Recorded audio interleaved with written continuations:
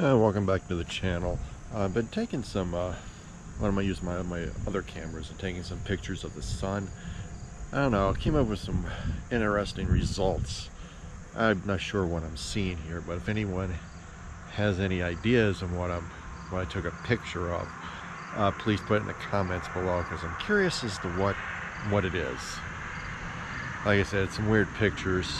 We're playing around with different filters and stuff, so different combinations, but but enjoy the pictures. Anything else, just enjoy the pictures and enjoy.